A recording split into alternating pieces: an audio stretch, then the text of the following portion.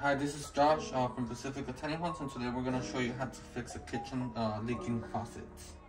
Okay, so it's very simple to fix. All you have to do is just remove this, and then you're gonna find the O-ring. So all you have to do is just grab your crescents and just just tighten it. And then keep in mind, righty tighty, lefty loosey. So to tighten it, you have to tighten it to the right. Stop.